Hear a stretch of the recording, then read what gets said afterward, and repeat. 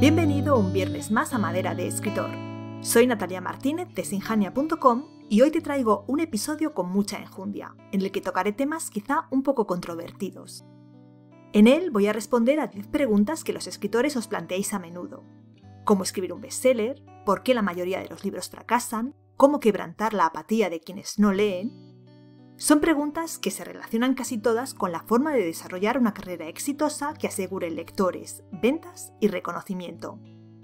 Este episodio surgió como respuesta a las preguntas que un miembro de la comunidad de Sinjania nos planteó hace tiempo. Ya sabes que si quieres ser miembro de nuestra comunidad, no hay nada más fácil. Al pie de este artículo tienes un formulario para unirte. Estoy convencida de que muchas de estas preguntas también han cruzado alguna vez por tu mente. Así que he preparado este episodio para responderlas y darte mi visión, que no tiene por qué ser la tuya, aunque confío en que lo que voy a exponerte te ayude a reflexionar sobre estos temas y a sacar tus propias conclusiones, porque esas sí serán las buenas. Vamos con la primera pregunta. ¿Cuáles son las 10 características de un bestseller?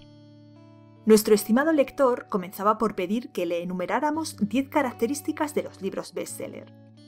Lo cierto es que no he sido capaz de encontrar 10, sino tan solo 4, y puede que resulten desilusionantes.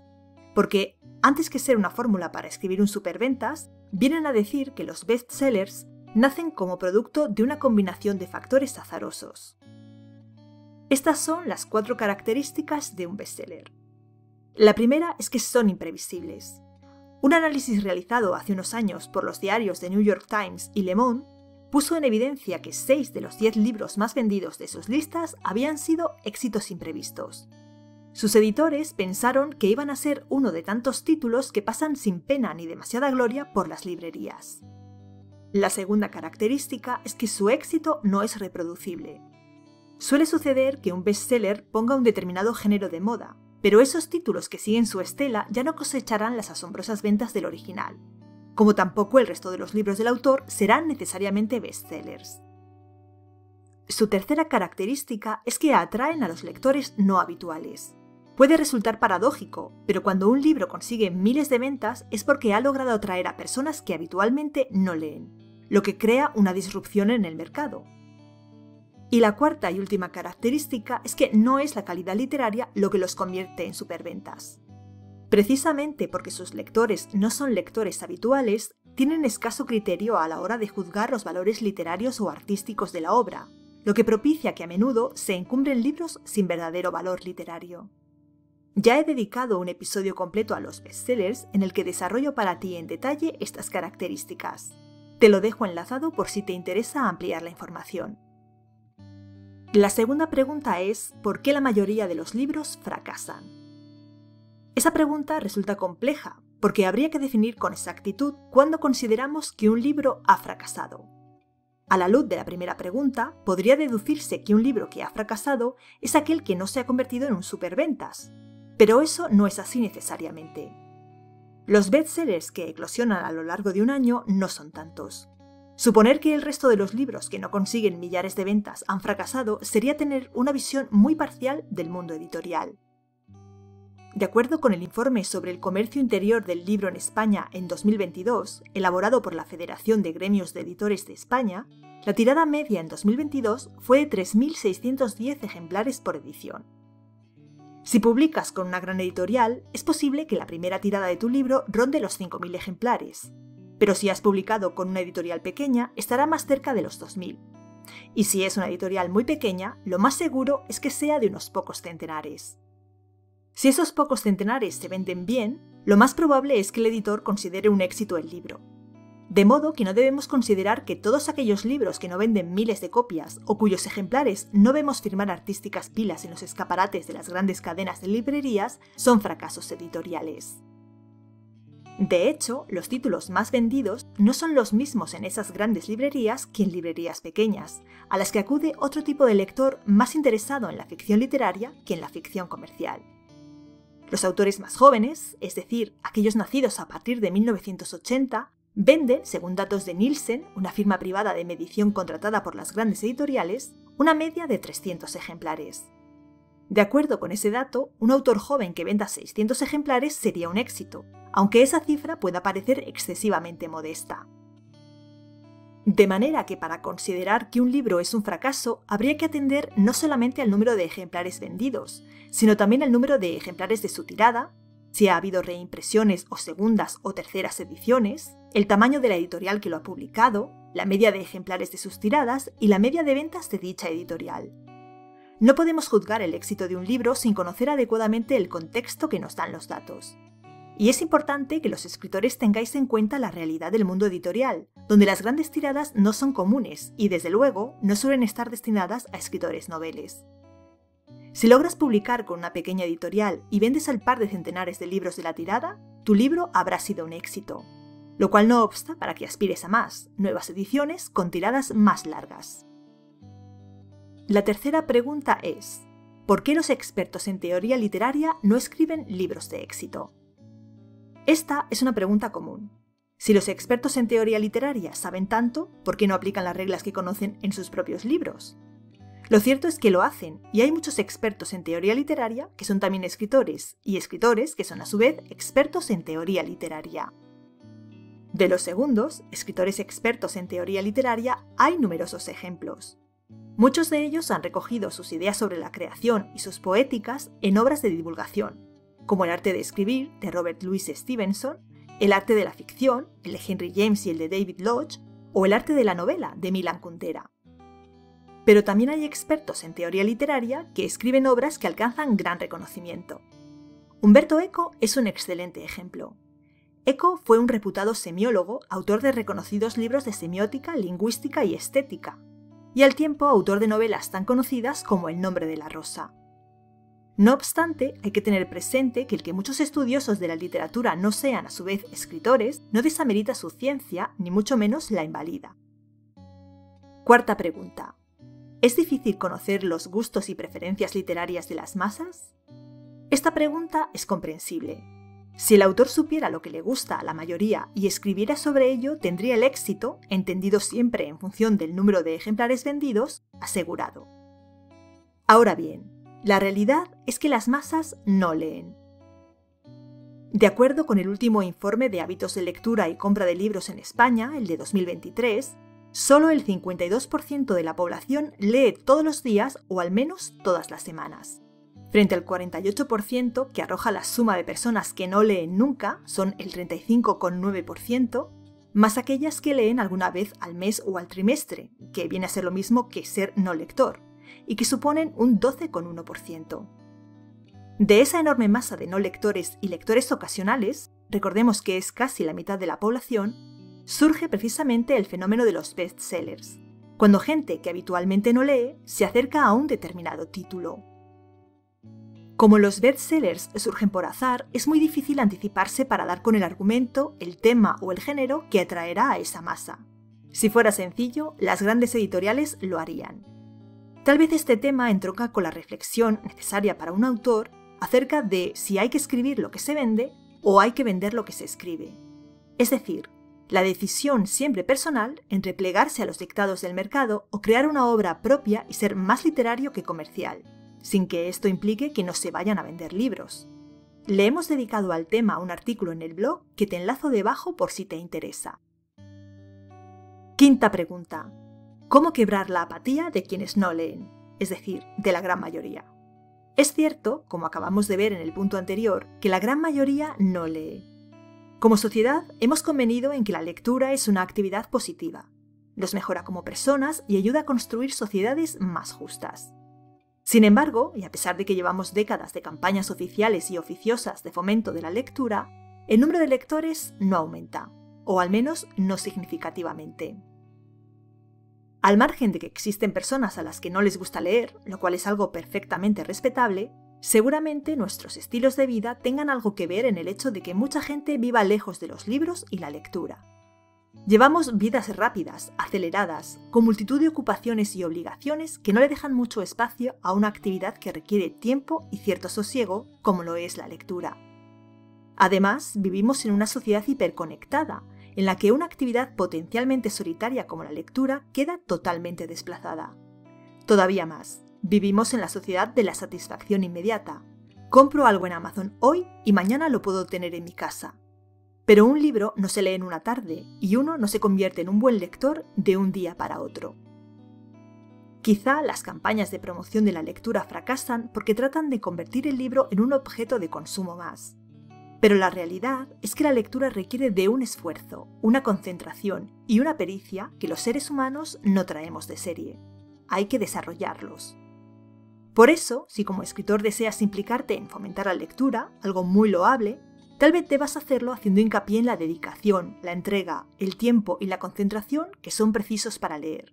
Y por supuesto, predicando con tu ejemplo. También tienes ya un episodio en el que te propongo algunas ideas que puedes poner en práctica si, como autor, quieres contribuir a que el número de lectores aumente haciendo fomento de la lectura. Sexta pregunta. ¿Cuáles son las características infalibles de un escritor de éxito? De nuevo, habría que comenzar por definir qué consideramos ser un escritor de éxito, porque puede haber múltiples formas de concebirlo. Puede que para un escritor el éxito consista simplemente en finalizar su novela, para otro, el éxito será publicarla. Para un tercero, publicarla con una gran editorial. Y para otro más, convertirse en un bestseller en Amazon.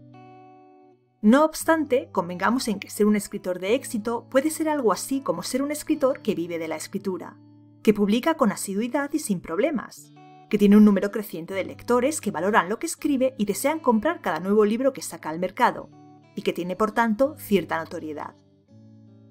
En mi opinión, para convertir en realidad esa agradable visión hacen falta varios elementos. El primero, un amplio conocimiento de la narrativa y la literatura que te ayude a concebir y escribir buenas obras. Por eso siempre recomiendo la lectura como el mejor curso de escritura al que un escritor puede asistir. Lo que no obsta para que te formes también a través de cursos, seminarios, talleres que te ayuden a avanzar más rápido en ese camino no meramente para escribir cada una de tus obras, sino también para reflexionar sobre tu modo de entender y hacer literatura. Además, debes comprometerte con tu obra. Si te pones excusas, si no encuentras el tiempo para escribir o leer, si dejas que la última novedad te distraiga, si no trabajas con foco y perseverancia, es muy difícil que el éxito corone tu empresa. Creer en la musa, la inspiración y el talento es bonito, pero poco eficaz. Si no rompes con la mística del escritor, tu carrera no progresará. Por eso insisto siempre en la importancia de ser productivo y de gestionar con inteligencia tu tiempo, pero también tu mente. Porque muchas veces lo que impide el éxito es tu propia mentalidad, esa serie de creencias que te paralizan y tratan de mantenerte en donde ahora estás, en tu zona de confort.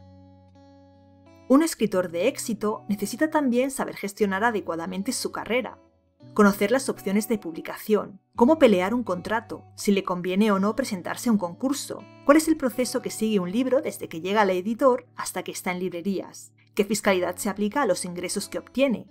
Sin toda esa información, es difícil que dirija con acierto su carrera y la lleve hacia el éxito. Y aún peor, puede ser víctima fácil de engaños y estafas. Por último, y aunque sea un tema que disgusta a muchos, un escritor también debe saber de marketing, es algo tan indispensable para el trabajo de escritor del siglo XXI como saber manejar un ordenador para determinados puestos de trabajo desde finales del XX. Construir su marca personal de acuerdo con quien él es de verdad, conocer a su lector ideal y realizar una batería de acciones que le coloque delante de él es hoy imprescindible para un escritor que aspire a ser leído. Con esos elementos, conocimientos que le permitan escribir una buena obra, productividad y mentalidad, conocimientos sobre el mundo editorial y nociones de marketing, es mucho más sencillo alcanzar el éxito, aunque como ves no está exento de trabajo y esfuerzo. Séptima pregunta. ¿Importa el talento? Se habla mucho del talento como una cualidad indispensable para ser escritor, pero se entiende como algo con lo que se tiene la suerte de nacer o no como si para ser escritor fuera necesario tener la cualidad innata de tener los ojos azules, y quienes no los tienen pudieran abandonar toda esperanza de llegar a convertirse en autores un día. Sin embargo, el talento es simplemente aptitud, y la aptitud es la capacidad para operar competentemente en una determinada actividad. No es algo innato, algo que se tiene o no se tiene. Es una capacidad que se puede entrenar, pero que exige propósito, compromiso y perseverancia. De modo que sí es necesario tener talento para ser escritor, porque hay que desarrollar las capacidades para operar de manera competente en el oficio. Pero ese talento no es una bendición de la que solo disfrutan algunos privilegiados. Puede alcanzarse con esfuerzo y tesón. Si nos parece que no todo el mundo tiene talento, tal vez sea porque no todo el mundo tiene la capacidad de esforzarse hasta alcanzarlo. Octava pregunta. ¿Todos los escritores buscan la fama y el reconocimiento? Después de tanto hablar sobre el éxito, la pregunta de si todos los escritores buscan fama y reconocimiento resulta muy pertinente. Pero la respuesta solo podrá darla cada escritor a título individual. ¿Qué esperas tú obtener a cambio de tu obra? No obstante, muchos autores no se han mostrado interesados en la fama. En el arte de la novela, Milan Kundera apunta. El novelista, según Flaubert, es aquel que quiere desaparecer tras su obra. Desaparecer tras su obra quiere decir renunciar al papel de hombre público. Y no es fácil actualmente cuando todo, por poco importante que sea, ha de pasar por el escenario insoportablemente iluminado de los medios de comunicación, que, contrariamente a la intención de Flaubert, hacen desaparecer la obra tras la imagen de su autor. Prestándose al papel de hombre público, el novelista pone en peligro su obra, que corre el riesgo de ser considerada como un simple apéndice de sus gestos, de sus declaraciones y de sus tomas de posición. Tal vez por ello, autores como J. D. Salinger, Thomas Pynchon o más recientemente Elena Ferrante han preferido permanecer lejos del foco mediático. A mi juicio, el único reconocimiento que el escritor busca es el del lector, es su satisfacción lo que íntimamente desea provocar con su trabajo, porque el lector es siempre el destinatario de sus esfuerzos. Stephen King ha dicho, Escribir no es cuestión de ganar dinero, hacerse famoso, ligar mucho ni hacer amistades. En último término, se trata de enriquecer las vidas de las personas que leen lo que haces. Novena pregunta. ¿Por qué la mayoría de los escritores están condenados al olvido? Ciertamente, muchos escritores y muchos libros están condenados al olvido. Para comprenderlo, hay que comprender cómo funciona el canon literario. El canon literario recoge y preserva las mejores obras de todos los tiempos. Es una recomendación implícita de lectura que muchos lectores siguen, lo que permite que las obras que lo integran sigan vivas. Sin embargo, el canon literario es algo vivo, algo que no deja de mutar. Hay autores que entran y autores que salen. No todos los escritores pasan a formar parte del canon, incluso cuando hayan tenido éxito en su momento. ¿Quién se acuerda hoy de Walter Besant o de Henry de Kock? Sin embargo, ambos fueron autores superventas en su época.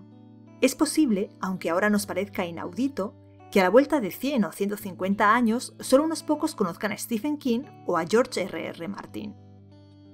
También hay autores que ingresan en el canon para salir algún tiempo después, mientras que otros que no ingresaron en su momento pueden ser rescatados e incorporados incluso mucho tiempo después. La única forma más o menos segura de no caer en el olvido es entrar en el canon, y para ello hace falta escribir obras que, basándose en la tradición literaria, lleven esta más allá y le den un nuevo impulso. Décima y última pregunta. Los escritores que han triunfado es por cuestión de suerte, talento, disciplina, relaciones, preparación, perseverancia o de que una hada madrina los ha tocado. Convengamos en que las hadas madrinas no existen.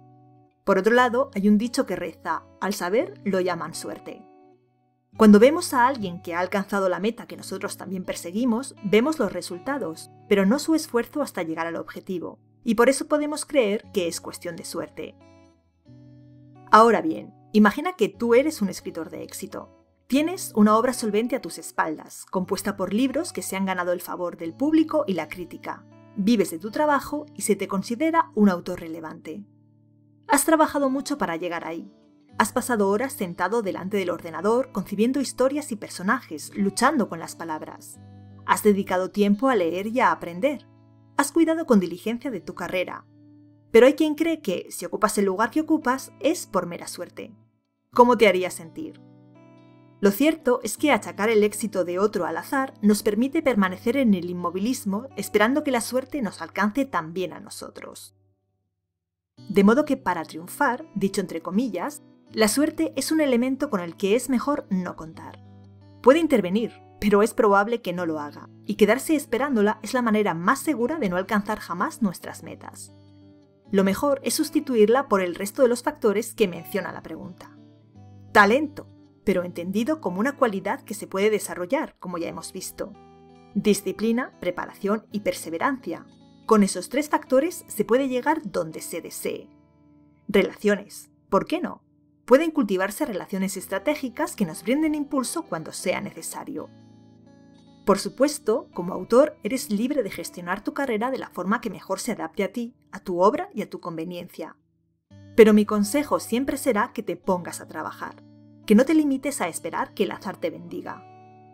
Sin duda, llegar a la meta no es sencillo, pero creo que tendrás más probabilidades que si te limitas a esperar pasivamente a que el dedo de la suerte te señale. Gracias por acompañarme hasta aquí. Hemos hecho juntos un recorrido por muchas de las preguntas que un escritor acostumbra hacerse cuando piensa en su carrera. Me encantará conocer tu opinión sobre los temas que hemos abordado. Y como siempre, te invito a suscribirte al canal para no perderte los vídeos quincenales y al blog, donde publicamos solo para suscriptores nuevos artículos todos los jueves. Pero ahora es tu turno. ¿Te habías hecho alguna de estas preguntas? ¿Tienes otras que desees que conteste o al menos que lo intente? Déjamelas en los comentarios. Un abrazo.